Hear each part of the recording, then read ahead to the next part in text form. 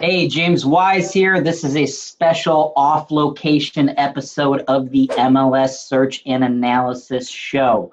I was not able to make it into my studio today, but that does not mean the education stops. It is incredibly important that my team and I we pump these analysis out for you guys as quickly as possible.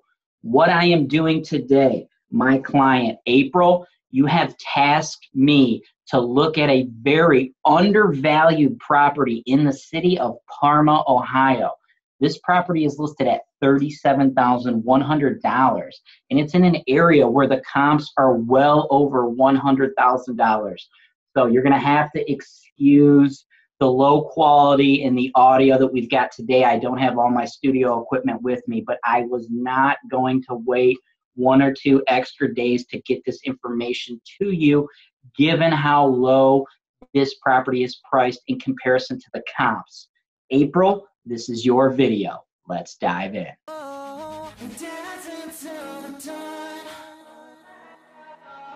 For the price, I mean, this is actually a really nice house. A little bit more rough, a little more ragged. It's to keep those values high. Here's quarter mile comps. There's $260,000 houses right down the street. You'll be able to put your offer through me, and then after you close, Holton Wise, we can handle the property management. We'll even be able to help you with the insurance. We have lenders who will write loans for investors in all 50 states. This deal is 100% James Wise approved. James Wise denied.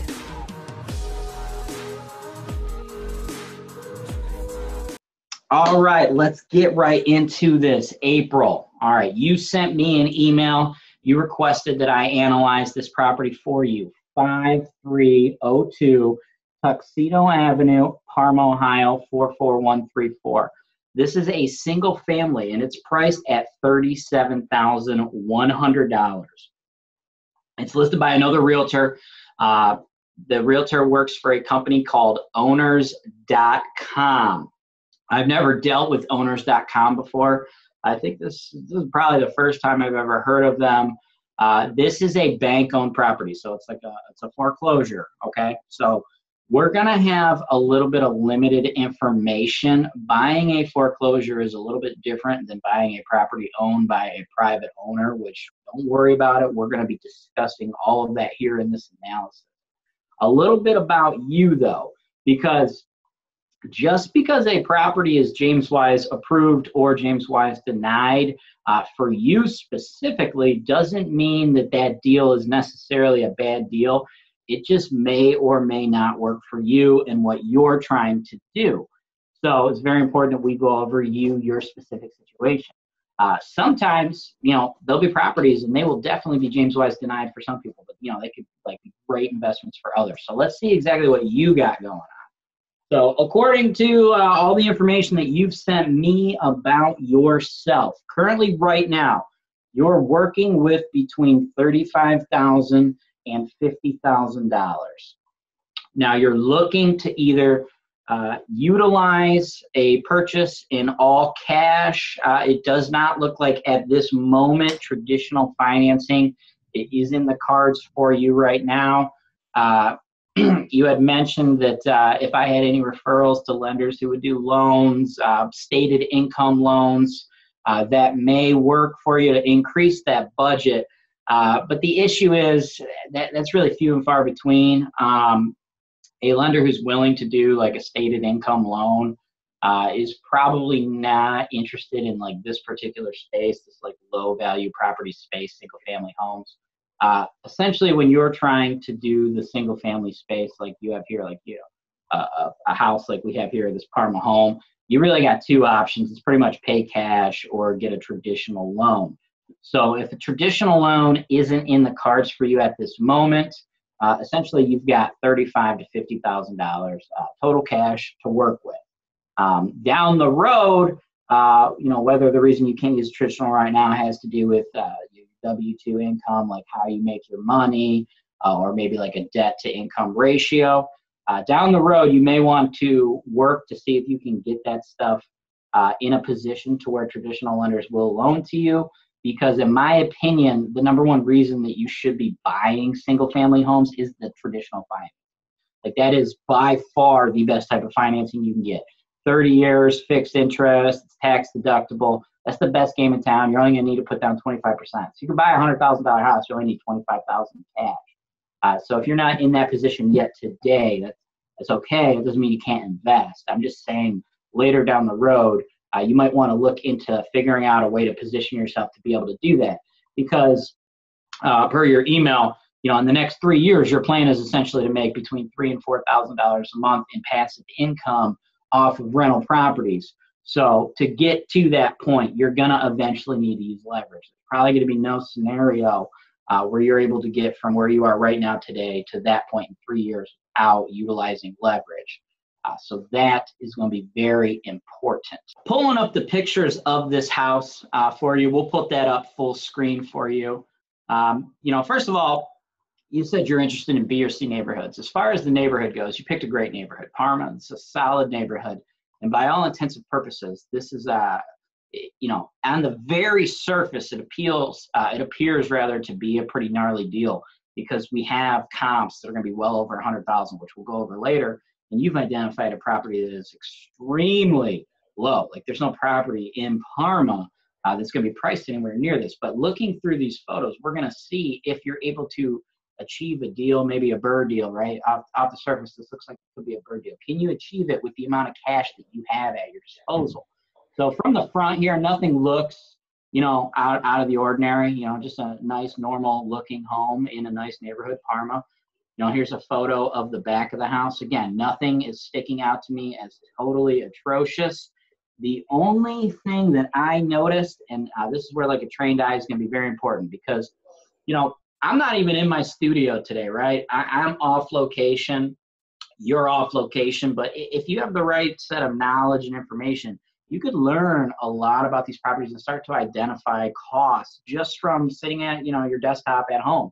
Like this one right here, this photo, it doesn't appear like there's much going on, but I have found a $10,000 problem for you in this photo. If you look, you can see it a little bit on the right. The driveway is very, very old. That's very old concrete, and I'm looking at some cracking. Hard to tell. I only see a couple cracks, but I'm assuming that there is going to be a ton of other cracks on this driveway. Now, in the city of Parma, we don't have point of sale inspections, okay?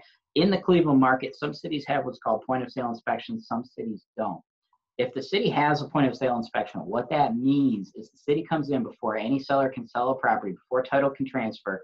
By law, the city has to inspect the property. Some are interior, uh, interior and exterior, some are exterior only, and they will issue citations. Now, the seller has to actually clear all those citations prior to transferring title, or they can have the buyer assume all of those, and the buyer typically has to put money in escrow. Then the buyer gets a certain amount of time from the city after closing to make all those repairs, and then the city will release the escrow funds. Parma is not one of those cities, okay? Parma does not do that. But what Parma does do, and this, this is where local expertise is coming in, this is why it's incredibly important for you and people like you to purchase these analyses, because this isn't like something that's advertised you know this this is information that you can only get knowing the local market and like on a very micro level right? The cleveland market is very very big. Parma is just one specific suburb in cleveland. But what parma does and they don't do this for all homes. They only do this for non-owner occupied homes like rental properties. Uh, you have to register all rental properties in parma also vacant properties. So if you bought a house just with the intention to flip it you were never going to rent it don't think that you can skate away from this because they require you to register uh, vacant homes as well. The, the cost to register a vacant home is actually $50 more than it is to register a rental home. A rental home is $150 a year registration. A vacant home in Parma is 200. Uh, so depending on like what your plan of attack would be for a property, you know, yours is a rental, but maybe someone else is looking at this like as a flip. You're spending between 150 and 200, and you're on the city's radar. So anytime either a vacant home is registered or a rental property is registered, the city comes out after the sale and they inspect the exterior only of the property. And they are very good sticklers for concrete issues. Okay. So these cracks, this really old driveway, I would anticipate, I only have, because you got the desktop analysis, right? We didn't get the one with the video tour, so my team hasn't physically been on location. But just from what I'm seeing right here, worst case scenario, the city's probably going to make you replace the entire driveway. So that could be up to $10,000. Now you're looking at probably like seven, seven, seven, eight bucks a square foot or something like that for your driveway. I don't know exactly know the size of the driveway, but let's just like worst case scenario, we'll call it about 10 grand. It's not going to be more than 10 grand. It very well could be less, but we'll call it 10 grand. So just this little photo around alone here, we just found ourselves a little clue that, oh, hey, there's a $10,000 issue I got to keep in mind. Now, moving on, the rest of the property, it just looks old and beat up. Like you can see from this living room, that floor, it's all beat tall, holy hell. Uh, old, old fireplace, just this decorative fireplace, just so you know. Very important when you have rental properties that you remove uh, the gas lines going to these fireplaces. That's just a hazard, uh, a liability that you don't need to worry about. Doesn't add any rental value. So that's nice. That's already done. Uh, but you can see just the property is just old and just just beat down and gross. You know, this right here, we got uh, like green trim. That's that's pretty hideous. Old beat up kitchen. The floor is all disgusting. Like there's nothing salvageable in this kitchen whatsoever. Uh, more another shot of the driveway here. You can see just like pretty old, nasty, and then we just have a garage totally beat to hell. And uh, when I run over, when I go over the estimate uh, for how much I think it's going to take to actually fully renovate this, we'll talk about the garage too. Uh, and then here is the bathroom. A couple big things here in the bathroom. You see the, the blue painter's tape over the toilet, okay? And then you see the green tags over in the tub shower and on the vanity. This is pretty important. I mentioned earlier, this is a bank-owned property. This is a foreclosure, okay? This is not owned by a private entity. You are dealing directly with the bank in this property. So when you deal directly with the bank, there's going to be a lot more unknowns, okay? And also, you're to pretty much have to pay cash. Now, for you, it looks like you have to pay cash anyway. You got thirty-five to fifty thousand dollars to work with, um, so you are already on the cash bandwagon. But if you didn't, like if you wanted to get a loan, this would not be a property that would be a good candidate for that. Here is why.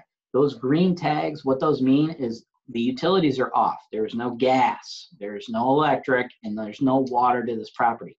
Most banks, if not all banks, will never let you turn the utilities on during the due diligence. Now, I have access, you don't have access to this, but as a broker, I have access to, to broker remarks. So the listing agent from that company, owners, uh, owners.com, in the broker notes that you can never see in the general public, uh, they have specifically stated that the bank is not going to turn that water on for any buyers for any reason. So more or less 99% of the time you're trying to buy a bank owned, that's pretty much going to be the case. Uh, but in this particular situation, we know for 100% certainty that you cannot turn that on. So what that means is if you did have the intention to buy a property like this with a traditional loan, which is what you should be doing if you're investing in the single family space. So keep that in your back pocket. Because again, like I said, it might not be in the cards for you right now today, but if you want to get to your goals of three to four thousand dollars in monthly rents in the next three years, you're going to need to utilize that financing. You just don't have enough cash uh, to get you to your goals, so you need to leverage your funds.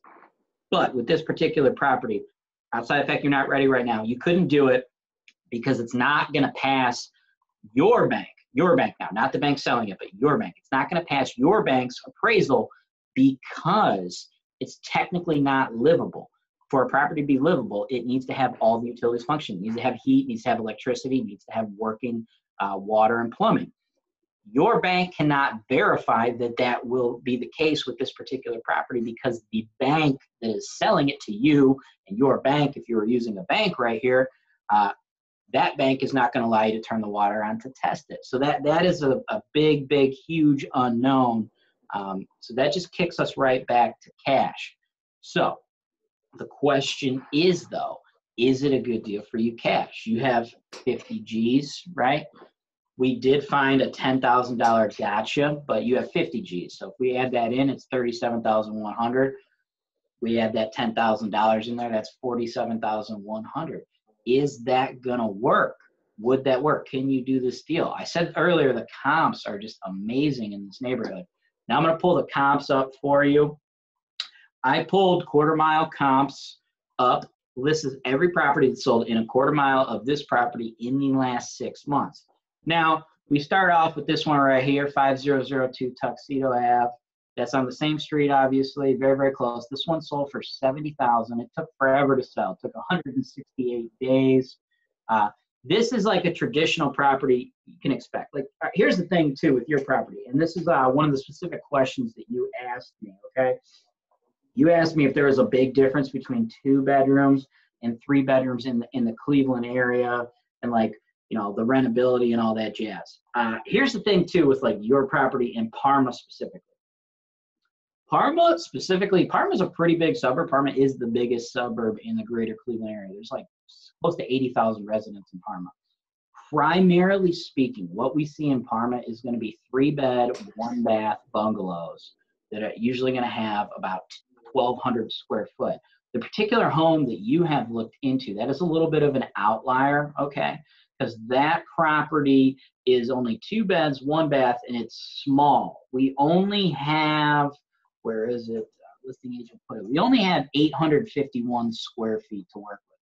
Two beds, one bath, 851 square feet in an area where it's traditionally like 80 to 90% of the inventory in this area is going to be three bed, one bath, 1,200 square foot. So we have a little bit of an outlier. So as I read you the comps, we're going to have to keep that in mind that it's always going to be a little bit lower here. But going through these comps, so this one, this is three beds, two baths. As you can see, it falls under that normal thing, right? That you know, like around a 1,200 square foot bungalow. This one here is 1,092 specifically, so you know, right there in the area. You know, you can see here that this is just dated, pretty dated, pretty ugly. So this needs a lot of cosmetic work, but I'm assuming on this property the bones are probably pretty decent because these these homes they're all pretty much the same. We got like several of these in our portfolio.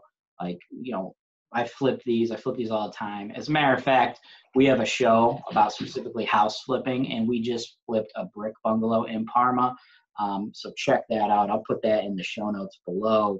Uh, that's episode one of our newest show, the house flipping show, and that was a cool deal because I sold that for 132,000, and that's very very close to this. It might be a little bit more than a quarter mile. As a matter of fact, I know it's more than a quarter mile because it didn't pop up on this comps report. Um, but same general pricing. So 132,000. So if you had a three bedroom, that pretty much top of the market because we decked that thing out. But you'll see that from the, uh, the show notes. But this one, this was the cheapest one that sold. This one here, 5002 Tuxedo. So for 70, and it's because you know it's totally dated, right? You got the super old carpet, the nasty old kitchen, old old like grandma grandpa wallpaper. In the basement here, if you see this flooring, uh, that's this is something that's pretty common. That right there, that's probably asbestos uh, tile flooring. Moving on to the second one here that I've pulled up for you, 5502 Merkel in Parma. Now this one sold for 91,000. That was on the market for 101 days. Okay, you know same thing. We got three beds. This one also has two baths, and this one 1,248 square foot. So it falls pretty much in that general area. Now this one was vacant. The price is a little bit higher because again, it's it's very unrealistic uh, or normal to expect to buy anything in Parma for like under a hundred grand. So these two properties under a hundred grand, and again, you know, just dated. Probably have pretty decent bones, and they're in the general like size of the neighborhood here. Uh, and this one, just some cosmetic fixes, and this would probably be a pretty nice property. So I think it's probably sold on the pretty cheap end just because of uh, the low pricing. And then over here we got another three bedroom home sold at 104,000. You can see from the photos this was sold uh, by an owner occupant. They were still living there. Nothing like uh, too crazy, just minor cosmetic updating would be needed for this property. Like if you had uh, like all neutral decor and like an updated kitchen and bath, this would probably be 130, 140,000 dollar property. Okay, moving on, we got another brick. We got a brick bungalow, three beds, one bath, square footage, 1,300 square foot. You know, not the most modern and updated thing, but again, the price point, 106,500. So we're still on the low end because not super updated. You know, looks like a pretty solid property though. You know, you got your updated electrical right here. You got a furnace right here that's probably only 10, 15 years old. This water tank, if I had to guess, it's probably around 10 years old. Now we get a little bit higher up, $112,000. Another bungalow, three bed, two bath, 1,092 feet. You can see here this kitchen. It's not the most updated kitchen in the world, but it's starting to look a little bit nicer. Over here we got nice shiny hardwood flooring. We got the neutral paint. Okay, we got a partially finished basement in here. You know, they obviously have some kids, but this is just like a, a pretty darn nice looking house, and the price is reflecting that. continue to go up. This one is a ranch, but again, it's got the three beds, it's got two baths, 1,132 square foot, sold at 112,000. You know, kitchen's looking nice. We got the neutral looking decor in here. We go up to 117,000. You know, we got stainless steel appliances in this one. Nice flowing hardwoods. You know, people are still living here, so you're going to see the different colors. But we got some nice upgrades. Like here, you got a pretty upgraded shower. Okay. You know, I got a little patio here in the back. Uh, just as a FYI, this little uh, like above ground pool that these folks put in, like I don't know if that was if that stayed with the house. Probably did, assuming since they took the picture of it. But like something like that don't really add any value. Just as a FYI. Going down here, 122,000. Uh, this one's looking nice. You know, pretty nice. Uh, you know, just just nice overall, nice little houses here. And then 124,000 you know, we got the dark hardwoods, neutral decor, white painted trim. This is a little dated, you know, this this this uh this bathroom here a little dated. So to get top top top dollar, you'd want to upgrade that a little bit. So those are all the comps there. We range from 70 all the way to 124, and that's just quarter mile here. Like I said, the one I just flipped, which is like totally decked out, that's just sold for 132,000. I sold that within one day of going on the market because I had the stainless steel appliances and it was empty, right? You know, these, we got some examples of some nice homes, but they still need a little bit of work. Um, but you could already see, even like not being specifically totally decked out like my flip was, the value's there. I mean, we went all the way up to 124,000.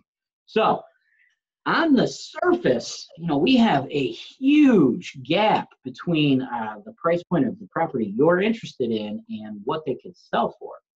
Now, I know you're interested in this as a rental, but this isn't very important. When you're looking at rental properties, especially like projects like this that need rehab and, and possibly need work, you can't look at just the price point and the rent. Like I know we want to rent it, but we got to make sure that you're getting in uh, for the appropriate price. Like if you bought a rental property for $100,000 and it rented for $3,000 a month, yes, that seems like a great deal, right? Because the cash flow numbers would be perfect on that. But if you found out like a month later that everyone else in that city was buying that same hundred thousand dollar house that would rent for 3,000 a month, even though it seemed like an awesome deal for you, but you found out later they were all buying it for fifty thousand dollars. What seemed like a really good deal for you, you actually lost fifty thousand dollars, right? Cash flow wise, it's great, but you lost fifty thousand dollars. Now, there's no properties I'm aware of that are going to achieve those numbers, but that, you know that's just an example that's why I wanted to run through this for you, because um, it could lead you to believe so far like everything's looking good, everything's stacking up. Uh, could this potentially be a good deal? Now, with your property, given that again it's a little bit of an outlier, we got two beds and it's a little bit smaller. If you totally decked it out, I believe that we can probably get a maximum value out of your property. Probably, if I had to guess, uh, a little difficult because again, it's an outlier. We don't have very many three bedrooms to go, or two bedrooms rather, to go off of. I would put a maximum value of your property probably ninety-five to a hundred thousand dollars, uh, just because it's smaller. But if we totally decked it out, made it look really good. Now, by decking it out like I'm about to explain, because you have to do a renovation on this property anyway. You can't just leave it how it is. It's completely uninhabitable right now the renovation budget I'm about to go through with you, this is what you would need to do to this property uh, to just because you have to rehab it. So there's no point to half-assing your rehab. So you pretty much need to do everything I'm saying. So not only would this be the rehab you'd want to do if you were trying to like flip it or do a BRRRR, this is also the rehab you'd want to do to actually get it to be property. And in that condition, looking that nice, I would anticipate we would probably rent this property for about a thousand dollars a month. Now, some of those other properties that we just went through in Parma, even though they weren't going to be as updated as what yours would look like, those would probably rent for a thousand as is, or like eleven fifty, maybe even twelve hundred. Like if we had the beautiful look that we're going to give to this property, because again, you have to do the renovation anyway, and it was a three bed house in Parma, we'd probably be in like the twelve to thirteen hundred dollar a month range let's back it down, maybe about 12. 12 is, is, is pretty reasonable. And if we go with the Section 8 uh, stuff, we could probably get it even higher. If you go to HoltonWise.com, if you're not familiar with Section 8, if you go to our FAQ, okay, and you go uh, to the investor FAQ, you click on the Section 8 tab. It's up top and it's also in the bottom. it gives you what Section 8 considers fair market value. Okay, so for three bedroom homes, like Section 8 considers fair market value uh, 1293, right? That right there, it's a CMHA's payment standard. CMHA is the housing authority in the Cleveland market that operates the Section 8 programs. Depending on what market you're in, it's going to be a different housing authority. Uh, so I, I, use those terms interchangeably. That's what that means. Okay, so 1293 is essentially a pretty good ballpark of what they would give someone for a three bedroom voucher. So if you had a house like that, Parma's a nice B class neighborhood. I usually really push people to do Section 8 in the rougher neighborhoods because typically you do kind of get a rougher clientele. So when you're in like a nice neighborhood like Parma and you have a nice house, the cash paying tenants and the Section 8 tenants, the price gaps, it gets a little bit closer and the cash, cash paying tenants are usually much higher. Like if you watch me do any of these analysis or watch me talk about properties I'm selling in like low C class neighborhoods, sometimes the cash paying market be like 650 uh, but the Section 8 market would be like 800, 850. It's a bigger gap. So here, not so much, because I said we could probably get about 1200 right? And the, the Section 8 program is only going to be about 93 bucks a month. It is a way to increase your cash flow, but I'd probably go for a cash tenant. Now, on the two bedroom voucher, Section 8, they'll go up to as high as 981. But here, I think we could probably get a thousand from a cash paying tenant just because we're going to make the property look so nice. So that's just something to bear in mind. But what do we got to do to get to the point of bringing in that kind of rent for you. So I've pulled everything up on the screen for you here. Now, you would like to buy this property, you have thirty-five to fifty thousand dollars. The purchase price, everything looks hot so far, right? We have like, holy shit, we got comps around the 120, 130,000 dollar range. This is a nice neighborhood. We'll get a thousand bucks on rent. Everything seems pretty good. But does it work for you specifically? Does this deal work for April? Is it going to be James Wise approved for April and what you want to do April? Well, your purchase price, 37100 But the issue lies the renovation that you need to do to this property to get it rent ready, to get it in that condition is going to be too uh, too cost intensive for, for what you have. In no particular order, just based off of what I am looking at right here, just from my knowledge of you know construction renovations and uh, like what we need to do this property. Remember, we're going to go into this uh, without a lot of info. So when you make any offer, you always want to make your offers contingent on a third-party inspection. Now, this is a bank deal, and again, we're not going to be able to turn those utilities on. So some of the unknowns that are kind of open, even after your inspection, they're probably still going to be open for you because you're, you know, if you turn the water on, we could check exactly what issues you have. So even though you get an inspection on this property, you're still going to have a serious amount of unknowns. So I kind of just laid out like the worst case scenarios for you. Like that roof, given the rest of the house and in, in the picture, pulling the picture up again real quick. If you look in the top left, I see some discoloration and stuff. Um, back to the chart here. I pet punched in like just assuming you'll have to pay for that roof. So we got 37,100 for your purchase price. Roof, worst case scenario, you're going to have to get a new roof. I would say odds are pretty good you'll have to do roof. That's 5000 You're going to have to redo all those floors in that property, like those just beat to shit old hardwoods. It's just not going to be acceptable. Uh, so you're going to have to spend $3,000 on that. Now, that does not cover the flooring in the kitchen and the bath. Uh, bear that in mind. Based in Indianapolis, Indiana, FS Houses is the premier investment property brokerage. With an in-house property management department that can take care of all those unwanted landlord headaches, FS Houses can offer you the complete turnkey solution as well as wholesale properties offered to you at a discounted rate. With a network of thousands of active investors, wholesalers, and brokers, FS Houses can help you sell your property for top dollar on the open market or in a hurry to motivated investors seeking distressed real estate. Visit fshouses.com or call 317 492 9025 for more information on the Indianapolis, Indiana real estate. Make sure you're subscribed to our investor mailing list. We are going to send you an email with the latest investment properties for sale every single day at 1 p.m. Eastern Standard Time. You can expect a full video offering just like what you've seen today in every one of these emails.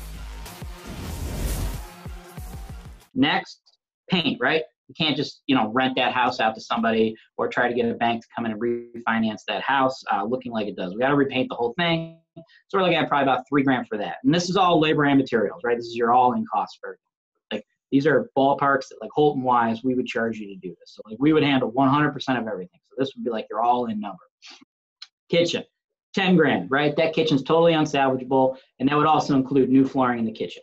So we would have the the finished hardwoods, nice hardwoods throughout the entire home, and then in the kitchen and the bath we'd have like a vinyl flooring. Uh, so you're looking at 10 G's for the kitchen. You got to completely redo the bath. That bath is like totally unusable.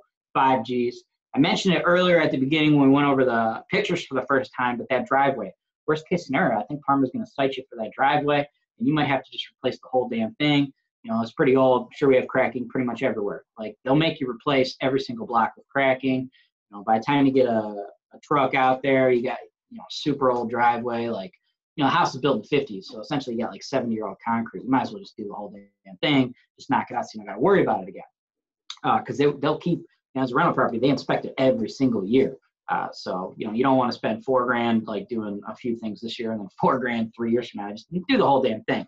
So ten grand on that furnace. We got a we got a worst case scenario. This could that furnace work? Possibly, but you know you just bought a brand new rental property, or maybe you're trying to flip it. Like you want a rental property, but you know assuming eventually you'd want to cash out because again to hit your goals of all that cash for the next three years, you're going to have to bring in some leverage. You can't just deploy all your cash into the deal. Uh, you know, to do when you go to get it reappraised by your bank to do the refi out, because you don't want it to appraise at thirty-seven thousand. You want to get it to appraise closer to a hundred thousand pull out that capital now and then use it to your, your next deals to build up your portfolio. So with all that in mind, you're probably gonna need a new furnace, right? Because the existing furnace, if it does work, which you wouldn't find out till after you bought it, because your inspector can't tell you that because you can't turn the gas on. Pencil in three G's for a furnace. Hot water tank, same situation. That's gonna be a G. Electrical, power's off. So I don't know what's going on in there. So I penciled in another 3000 for that.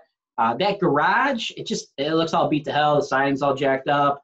Um, the roof on the garage might be messed up. Probably leaks. The door's all messed up. So just based on the picture, I don't think that's like a garage. It's in, in great repair. So I penciled in another 2000 to address whatever we find is wrong with that garage. Uh, in addition to that, I think I skipped a line. Under the hot water tank, we have additional plumbing repairs that I put in there, $1,000 maybe some copper stolen in this property. I don't know. I haven't been inside the property, but you have a property sitting empty like this, a bank foreclosure. Criminals will break into the properties and they will cut out the copper for scrap. I don't know if that happened. It could have. Another thing is those green green tags. Remember that shows that the property was waterproofed. Sometimes these banks they don't get in there. I'm sorry, not waterproofed, but uh, winterized rather. Sometimes these banks they don't get in there and winterize them right away or winterize them in the correct manner. So what could happen is if this property was vacant during the winter, uh, gas goes off, there's water in the pipes, freezes, expands, it cracks the piping. So I don't know what situation we have uh, going on with the rest of the plumbing um, outside of like what you add when you do your bathroom, but let's just assume there's probably a few issues, right? Because the house is just beat to shit. So we, we, we should never expect the house to be in great shape. Um, and you know again unknown. Your pl- uh, your home inspector is not going to be able to tell you at your inspection oh yeah you got hairline cracks and here here and here. Uh, like if there's missing piping he can tell you that obviously. You can see that from the basement but you got to pencil in some money there. So i did another thousand there. I mentioned the electrical 3000 we mentioned the garage 2000 and then i put another 2000 here. Doors locks smoke detectors co detectors. You have to obviously install smoke detectors co detectors uh, for your rental properties to be in a court, you know, be safe, fair housing law, you know, landlord tenant stuff. You got to cover yourself, cover cover your butt, make sure your tenants are protected. That's super small potatoes. We got to change all the locks, small potatoes, but doors, right? We got exterior doors on the front, the back, interior doors everywhere. You know, they're all jacked up, so you're probably going to have to replace all those, all the hardware in those. Um, miscellaneous, I penciled in another five grand for you. I don't know the condition of all the windows. Maybe we have to replace some, all of them, none of them. I don't know. Uh, but the yard, yard's also pretty beat up. The basement, sometimes we get a lot of moisture in basements. You know, this is an older property. This property was built in 1929, so we have a 90 year old property here. You're not going to finish the basement. At no point are you going to try to finish it, making it living space most likely. The best use for this property, you know, especially with a lower budget, would be to just keep it unfinished. But you may have to install a dehumidifier. You may have to dry lock it. There's just a bunch of unknowns that I just don't know right now. So we're going to pencil in at least five grand for all that. So this is a very fair and accurate representation of what you can reasonably expect if you purchase this property. So that would be a total renovation of fifty-three thousand dollars. Now it's starting to really make sense why this property is so much cheaper than everything else. So if you bought it at thirty-seven thousand one hundred, you have to spend every bit of that 53 grand. There's really no other way around it, right? I understand you're not trying to flip it. You just want it to be a rental, but you have to install it. Like you couldn't rent that kitchen to anybody, right? You have to do a kitchen. So you might as well do a nice kitchen. There's no other way around this renovation budget. So that's going to put you at a total investment of $90,100. So specifically for you, April, this deal has got to be 100% James Wise denied, uh, just because specifically it's essentially double the available budget that you have to work with. So you can't do the deal, right? Yes, you could buy the property now with the cash you have, but afterwards, you know, it's just going to sit there empty. There's nothing you can do to the property. And it's on the open market. It's listed on the MLS, so it's not like you can buy it at thirty-seven thousand and resell it to somebody for five or ten thousand dollars more. Like you know, it's already being out there and exposed to everybody. So this is probably you know around where the, the fair market value of this property is. So this deal's got to be James Wise denied for you uh, because it, at this point you just can't afford to do the deal. Now, if for whatever reason maybe you did have access to another 50 grand that I don't know about, does the deal make sense in that case? Still probably not. Again, I anticipate that the total max value here based on all our other comps, again, you've got an outlier. You've got a small two bedroom home in an area of all three bedroom homes. I think 95 to 99,000 is the max it's going to be worth. If you're all into this thing for 90,100, and that would have to be all cash, because even if you could finance, you still couldn't do this one because you know it's not livable. And then you got to pump out a fifty thousand dollar renovation. That's going to be a pretty damn long renovation. A lot of risk. There could be even more unknowns, like stuff I didn't even address. The house is all beat to hell. We know nothing is like good here. It's foreclosure. Generally, people don't take care of foreclosures. Uh, what if the main drain line uh, is is crushed and you have to replace that? That's another three or four thousand dollars. There's just like there could be other unknowns. Uh, so there probably would be no way that renovation could go much lower than fifty-three thousand, but it could definitely go up a little bit. Uh, so there, there's some risk, and you know, depending on um, just like how everything went, it's it's possible you can deal with delays. City could cite more things I haven't even thought about or addressed at this point in time. All of that said, like I guess the moral of what I'm trying to say is even if like it was possible for you to get the other fifty thousand, I still don't think the deal will be good for you because at the end of the day, that's like a lot of work, a lot of risk, a lot of things to undertake uh, to only gain equity of between five thousand and maybe ten thousand dollars. And then at that point, again, we have a rental that's running for like, you know, a thousand bucks a month. Just there's just better options out there. Like if you want to stick to your budget of thirty-five to fifty thousand dollars, Parma's not going to be where you want to be. I understand you're attracted to it because it's B class neighborhood and, and, it is nicer. Uh, but with the budget you're playing for, you just can't get into that market right now. You know, you don't have the funds. Um, so you're going to look probably closer to the C class uh, neighborhoods, which you want to do to to reasonably find yourself uh, a single family home you could find them in the C class neighborhoods, okay, and you could be all in. You could buy something for maybe like thirty to thirty-five thousand that needs a lot less work to it in a C class neighborhood, like Garfield Heights, for instance. That would probably uh, be a good place, um, or Cleveland itself. Garfield is high C, low B, but sometimes you can find some pretty nice uh, deals there because they have a POS and a lot of the owner-occupant buyers they get pushed out of that because you have to put all that money up front in escrow. So you can maybe find something for like maybe 30 grand with a $20,000 escrow um, that scares away a lot of owner occupant buyers. And you could possibly be into something like that. Or you want to look to like the west side of Cleveland, like Old Brooklyn would be a, a pretty good neighborhood for you. So that's 44109. You can go up to the north of the, that zip code, the Brooklyn Center neighborhood, 44135, 44111, all neighborhoods in Cleveland where you can probably achieve your goal of getting into a decent single family home here uh, for that price of 50000 going back to that section 8 fact too like because now your quality is going to be a little bit lower section 8 is going to be something that might be something that will appeal to you right? And uh, when you do that i'm talking three bedroom house right? Get a three bedroom one bedroom three bedroom one bathroom house. If you're in the old brooklyn neighborhood right? You know section 8 i'm not going to say that they'll give you as much as 1293 um, cash paying tenants will probably pay 950 to 1000 for a nice single family in the old brooklyn area. When we do section 8 in that neighborhood uh, we get a lot higher amount from section 8 but there's like a whole thing section 8 has to go through to actually specifically give you a quote for what they'll rent that specific property for uh, that's why we have this whole fact we kind of explain some of that um, so best case scenario you get 1293 uh, I can't guarantee it, but I guarantee you, you definitely will get above 950, right? So you're probably in like the thousand to 1050 range if you Section 8 a, a home in that neighborhood. And what you want to do, you want to seek properties that are priced as close to that $50,000 as possible. In all reality, you want to do the, the minimum amount of repairs.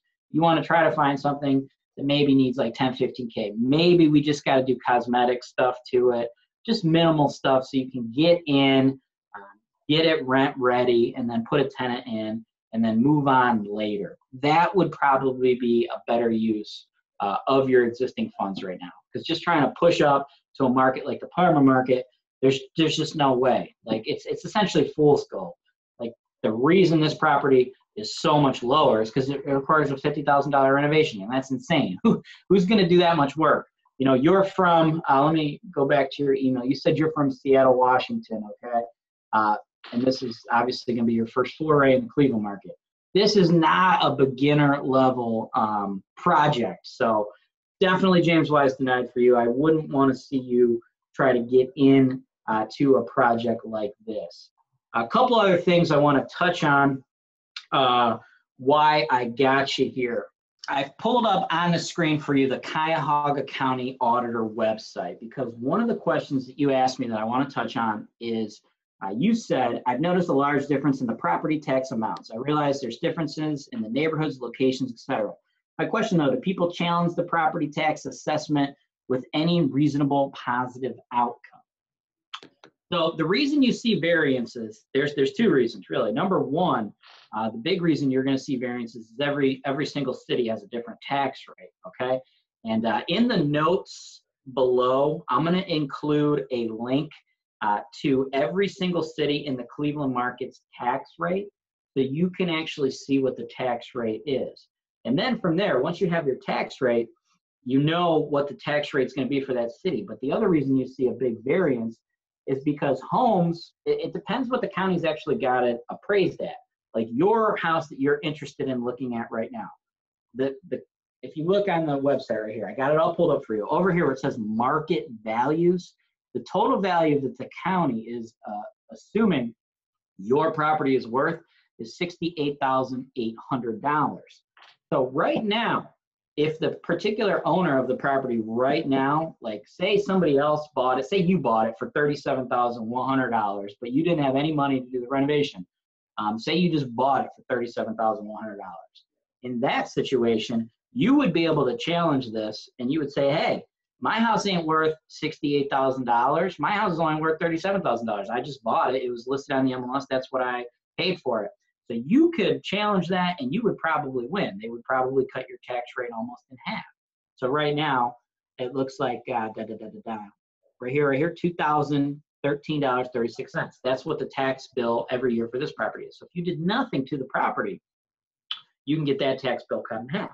However, if you put that $53,000 into it and then uh, you refinanced it out, or maybe you sold it to somebody else and it appraised for what I think it's worth, ninety-five to $100,000, the tax rate would then be reassessed by the county next time they do their assessments. They always look at the purchase price of like what it's really worth, and the taxes would go up.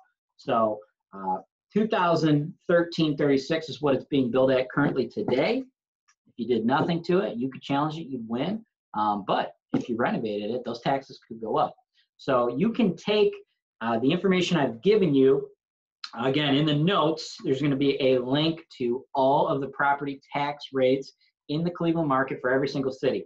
Like Garfield Heights, Euclid, Lakewood, they have really high tax tax rates. Shaker Heights is another one. Cleveland Heights as well. Their tax rates are considerably higher than Cleveland itself or Parma. So you have that, but then from there, you have to see exactly what the county is listing at. So if you want to buy a property and you're looking at the taxes of it, you're maybe going to buy it for 100 grand, go to the auditor website and see what the county has the market value. If the county's got the market value at 200 grand, well, hell yeah, when you buy it for 100 grand, you'll be able to challenge it, you're going to be able to win. But maybe it's only, uh, the county only thinks it's worth 50 grand. Remember, keep in mind, oh man, my taxes are probably going to be going up. G'day everyone, it's Angela Remora here, your favorite Australian and the founder and owner of Ohio Cashflow. Over the last five years, Ohio Cashflow has established itself as the most reputable turnkey real estate investment company in the country. We offer solid B class properties in Toledo, Ohio. We work and live in the same areas that we sell in. So when we sell your property, your tenants become our neighbors. We only take on a handful of investors every month. So for your chance to work with one of the best in the business, please fill out our investor application form, which you can find in the video notes below. Thanks for listening. And as we say down under, I'll catch you later, mate. Is that it? Yeah, we're done. All right, cool. Expanding your real estate holdings to multiple markets is a great way to reduce your risk. Birmingham, Alabama features an unemployment rate that is well below the national average. In fact, Birmingham's growing tech scene has been highlighted by both Forbes and Barron's. That, coupled with Birmingham's low price to rent ratio, is why so many investors from around the US have been flocking to the area to put their money to work. Spartan Invest has helped hundreds of investors successfully buy cash flowing real estate in Birmingham. With an average tenant stay of 39 months, it's easy to see why Spartan Invest maintains an annual occupancy rate above 95%. To learn more about the turnkey opportunities in Birmingham, Alabama, contact Spartan Invest today at 205 202 4118 or visit them online at spartaninvest.com. Holton Wise has a worldwide audience of real estate investors.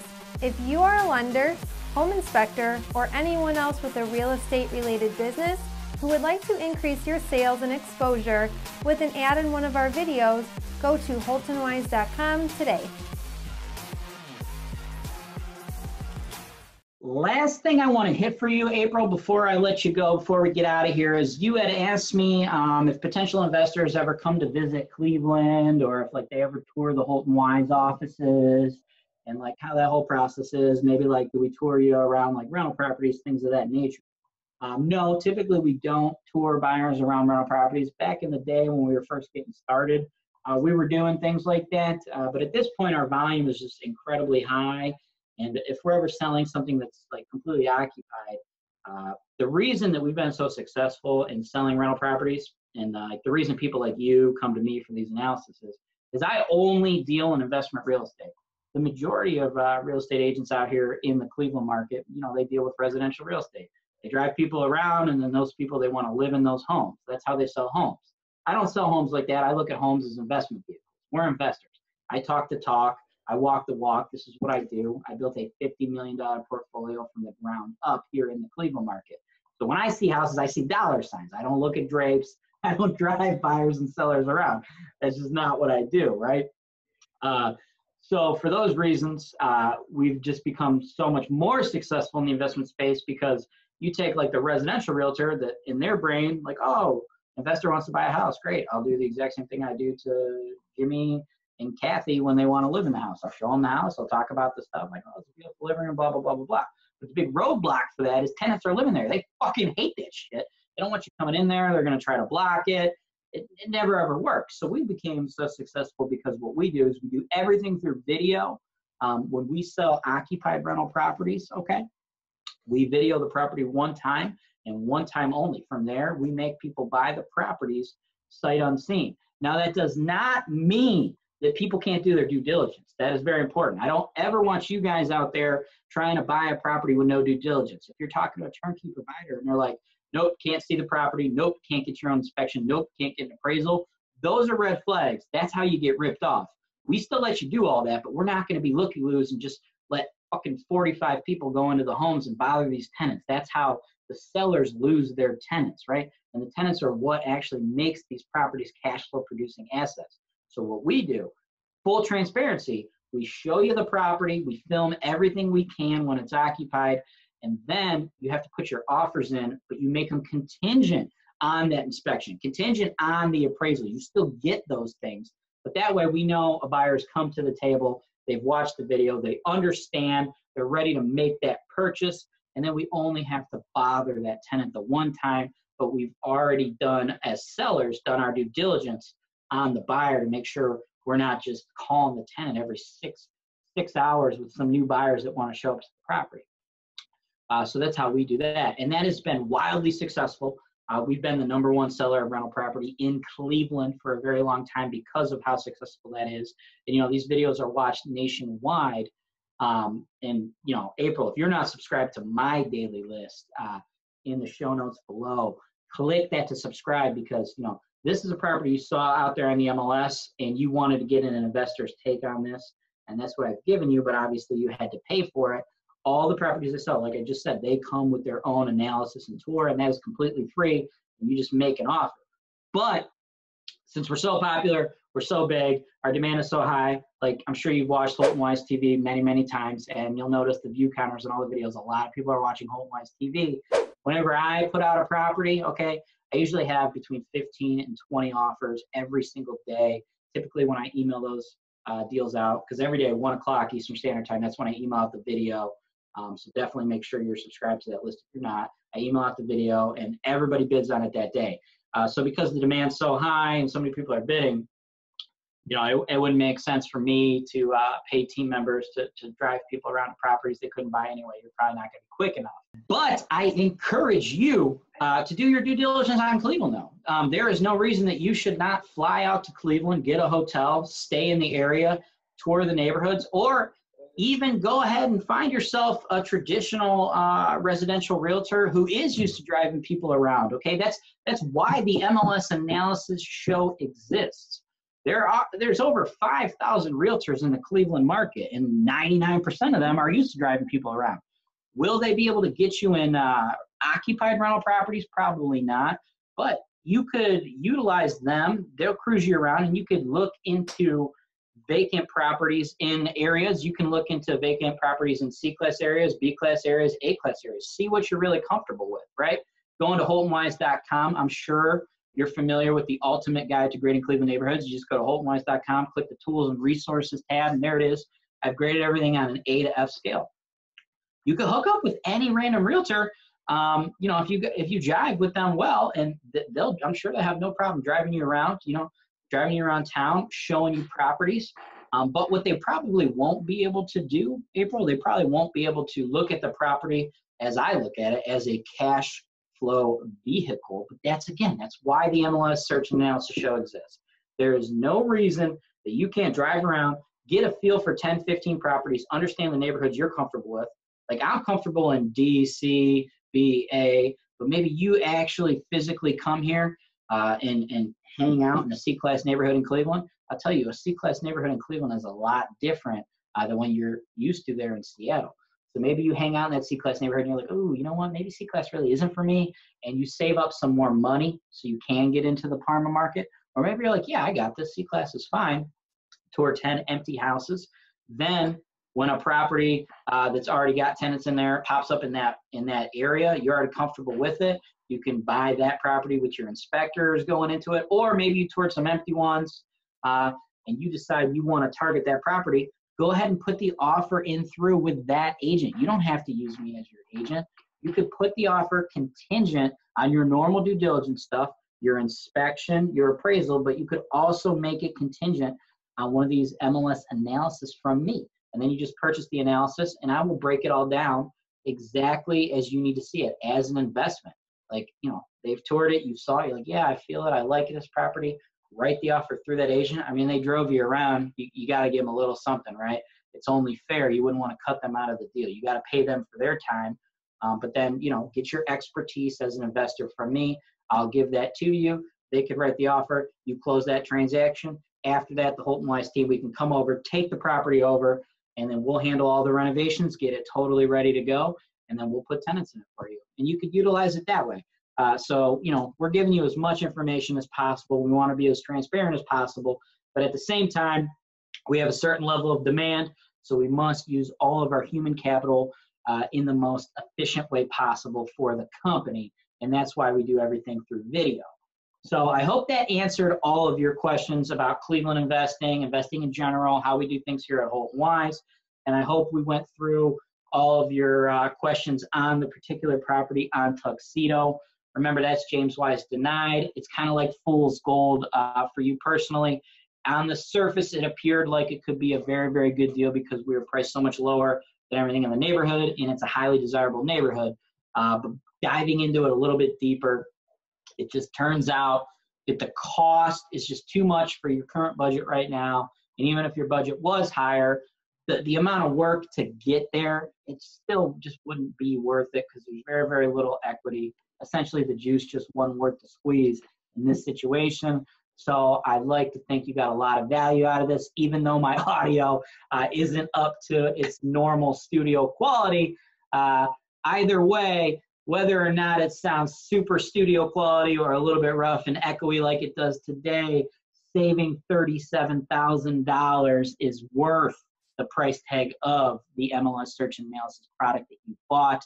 For everyone else who's watching April's video, if you want me to analyze any of your properties, again, I'm number one seller of investment property in Cleveland. If you haven't done so, in the show notes below, you can sign up for my daily email list. I'll mail you one of my properties every day at one o'clock. Make sure you smash the subscribe, like, and share button on our YouTube channel, Holton Wise TV, coming at you every day, giving you opportunities, education, and we're in more markets than Cleveland. We are bringing you what you need to know as investors in pretty much the entire Midwest. So you guys can use these properties for what I feel they're best used for investment vehicles. Uh, so definitely do that. And then if you go to holtonwise.com, if you click on the property search for sale tab, okay, that's where you can subscribe to my mailing list. And if you go down, these are all the price points for all of the analysis products that we offer. This is the base package, what April got right here. This is the base package. This is the entry level package where I analyze everything from a desktop computer. But as you see, if you have the local knowledge and experience, you could pull a lot just from those pictures. But if you want even more data, um, you know, we'll actually send my team out and they'll film inside of the properties. We can compare two properties. If you don't see any properties, like April, she went out and found this deal herself uh, and she liked it. She wanted to know about it or if she ever flew to town and dro- drove around with another realtor, you know, she could bring me specific deals and I could break them all down. But maybe you're a person who doesn't know the deal you want. You want me to just find you a deal. Maybe you're on my daily email list. And as I said, every day they come out, I get 15, 20 offers the same day. Maybe the offers, the properties, you know, you can't get a deal because other investors who have been doing this longer and are more aggressive than you are just snatching those deals, stealing the deals out from under you. You can task me you can be like, James, this is my criteria. This is what I want. Go find it for me. I will search the MLS and I will try to find you something as close to meeting your criteria as possible. Now, if your criteria is fucking stupid, like if you're like, James, give me a $40,000 house that rents for $10,000 a month, well, I'm probably not going to find that. So I'm going to find you like the best property uh, that I think is available. Um, so if your criteria is wrong, like I'm not pulling fucking rabbits out of hats here, just so you know. Uh, so if your criteria is wrong, the video is going to be me finding you a property that's the closest to your criteria and then explaining to you with my market knowledge uh, why your criteria isn't achievable in this market. So it'd be a great way for you to really get a firm grasp of the market today. And if you're watching all these other videos, because if you go down even uh, further on holtonwise.com there, it says click here for the MLS property search analysis videos we've done for other clients. You could watch, you know, properties we've done for other people. Like April has already seen this video before anybody else did because I keep them private for a while. And then I release them later so you guys can't go in and steal April's deals. If you want your own, you're going to have to pay for it. But you could watch other people's uh, past analysis products to learn the market as well. I give that information out for free. I will always continue to give that information out for free for all of you guys. But no, market's always moving. It's going up, it's going down, it's going up, it's going down. Um, so if you're watching this video 10 years, like I made this video uh, in May of 2019. That's it's May 20th, 2019 right now. I'm filming this video. Uh, if you're watching this and it's 2029, the market might be very different. So you're going to want to get an updated analysis uh, if you're trying to look into the market specifically at that time. Anyway, that's all I've got for you guys. April, I hope you went over everything you wanted. Everyone else, again, one more time, do me a solid and smash the like, subscribe, or share button. As always, I'm James Wise with Holton Wise, and this is Real Estate Investing Made Easy.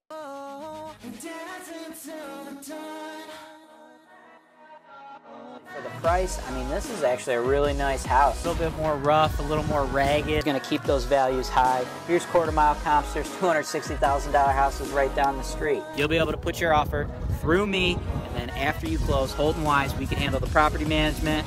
We'll even be able to help you with the insurance. We have lenders who will write loans for investors in all 50 states. This deal is 100% James Wise approved. James Wise denied.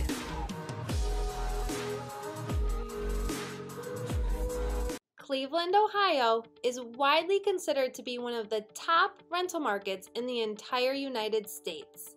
This is because here in Cleveland, our housing prices are low and our rental prices and demand are high. At Holton Wise, we provide the complete turnkey solution for all real estate investors, whether they are local, out of state, or even abroad. As real estate brokers, we will provide you with agent representation to help you buy properties ranging from single family homes to large apartment complexes. We even have referrals for lenders who can provide investment property loans to investors located in all 50 states, allowing you to capitalize on the use of leverage or other people's money. We have referrals to top notch title companies so you know that all of your transactions are safe and secure, with every single property being delivered to you with clear title. Once you close on the property, we have an investor focused insurance brokerage who can handle all your property insurance needs. This insurance brokerage handles auto, home, life, and business policies, but they specialize in working with policies for landlords. We also have full service property management. We can handle all rental property advertisements, tenant placement, rent collection, evictions, maintenance, landscaping, construction, and repairs. In addition, Holton Wise also offers digital media and education. One day, when you are ready to sell your investment, Holton Wise, as the number one seller of investment properties in the greater Cleveland area, can market your property in a video just like this one to our worldwide base of investors who are looking to capitalize on the high cash flow opportunities in the Cleveland, Ohio market.